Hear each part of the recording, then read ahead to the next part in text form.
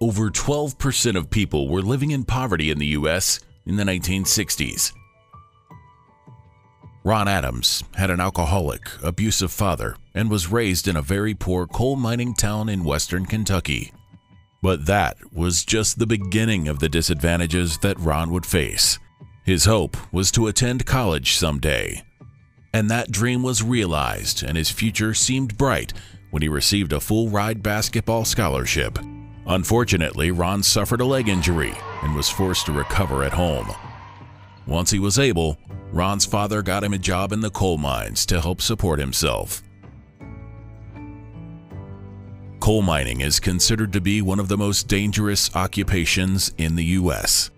While working in the coal mines, Ron was involved in a devastating accident where his spine was crushed between 18 tons of equipment and 350 feet of earth above him, leaving him clinging to life. As the ambulance waited, the rescue workers struggled to extract Ron from more than two miles deep inside the mine. After arriving at the hospital ER, Ron was told his neck was broken, and doctors then drilled four holes into his skull for traction weights to be added. Ron was forced to lay flat in bed for 40 days while his neck fusion surgery healed and became more stable. Ron was transferred from the hospital to a rehab facility having lost 55 pounds during that time. It was hard not to focus on the many things taken from him, things that were now gone forever. And hard to keep going when it seemed like all his hopes and dreams were gone forever as well. Ron began again. It was approximately 100 meters to the dining room area, and the first time Ron pushed it in his wheelchair, it took him nearly 45 minutes. But Ron never gave up. He relentlessly pushed forward and slowly started to get better. He continued to draw closer to Jesus as he listened over and over to the book of Matthew. Ron found hope and encouragement with the help of his nurses and family, who wrote scriptures from the Bible about healing and taped them to the walls of his hospital room. He continued to listen to Bible tapes every night before bed. It wasn't long before Ron changed that 45 minute 100 meter push to the dining room to a sixth place finish in the 100 meter dash at the National Wheelchair Games, finishing in under 30 seconds. Ron then decided he'd try a marathon. He was the only person in the competition in a wheelchair, and successfully finished the 6.2 mile marathon. As he had academic success, Ron decided to push himself even further. After graduation, he decided to go to law school. Ron was one of the first three students to ever earn a JD MBA at Northern Kentucky University's Salmon P. Chase College of Law. Mr. President, I present to you the men and women who have successfully completed all requirements for the degree of Juris Doctor and who have been recommended by the faculty of Salmon P. Chase College of Law of Northern Kentucky University. Will the graduates please come forward?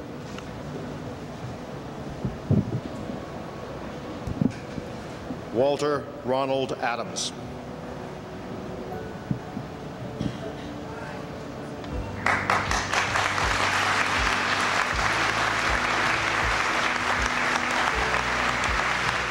After graduation, he opened his own law practice.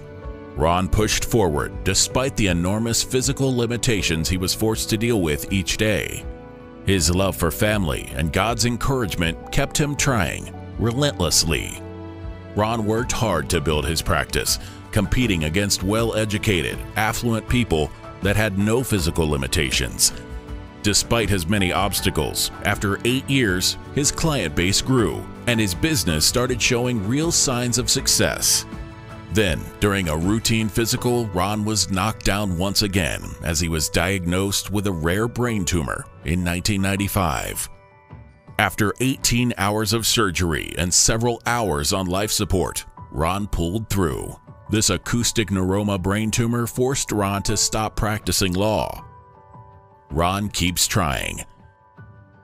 While at home recovering, Ron, always trying to better understand and motivate himself, starts taking classes on motivation from the Zig Ziglar Company. It was more difficult than ever to cope with the new physical and mental issues from the brain tumor, especially when added to the existing quadriplegia. Now, nearly his entire body has significant limitations. It took everything within him to keep trying. Then, when he thought it couldn't get any worse, he starts to realize that his recovery is taking longer than he had hoped. With no income in three years, Ron and his family lose their home. As Ron struggles to make sense of why everything is so hard for him, he wonders if God is displeased with him. Not that God is causing the problems, but why do these bad things keep raining down on him? He's not a bad person. So he asks the same thing we all ask at one time or another Why, God? I just don't know how much more I can take. With so many catastrophic events over Ron's 47 year life, how does he keep on trying? What are the odds of all this happening to one person? If anything, they show Ron Adams has achieved a statistically amazing life. Ron realizes from the numbers just how many bad things have happened to him. He searches for answers. Why does it keep happening? And what could he do to change the endless flow of bad things?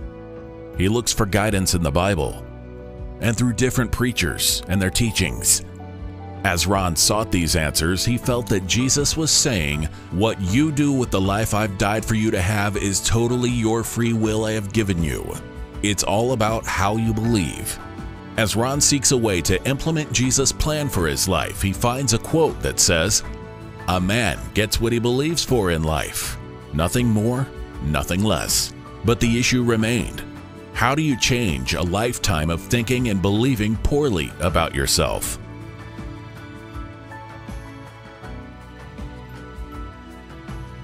Then Pastor Joel taught him a sermon on John 10:10, which states that a thief comes to kill and steal and destroy, but Jesus came so that you might have life more abundantly. For the first time, Ron felt that he finally understood what God was saying to him that Jesus came not just for salvation, but a tremendous price was paid so that we could have some heaven on the way to heaven. Resilience is a trait that Ron embodies. Despite the obstacles set before him, Ron managed to transition from a coal miner and various disabilities to be sworn into the Supreme Court of the United States, one of the highest honors an attorney can receive. Too many people want to blame God for their problems, but it's not about God. It's up to us what we do with the life we've been given. It doesn't matter how many steps you have to climb, you just keep your head up and you climb. The next step, and then the next step, and the next step, relentlessly. After implementing these truths over the next eight years, Ron's law firm now ranks as one of the most successful in Northern Kentucky. Read how he did it with Jesus' guidance in Ron Adams' upcoming book. Follow along as he overcomes unimaginable odds. From tragedy to triumph, be inspired to achieve success from God, just as Ron did.